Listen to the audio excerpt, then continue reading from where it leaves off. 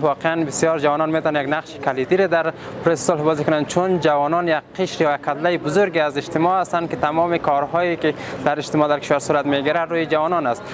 و به این اساس جوانان می‌تونن نقش کلیدی را در روند صلح بازی کنند چون بیشترین آسیب پذیری را در در شرایط فعلی جوانان است. و به این اساس جوانان می‌تونن نقش بسیار خوب بازی کنند و باید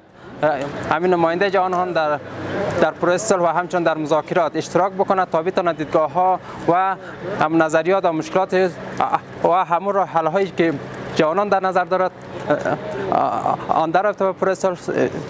شریک بکنند تا بتونیم که یک صلح سرتاسری و دوامدار داشته باشیم در کشورمان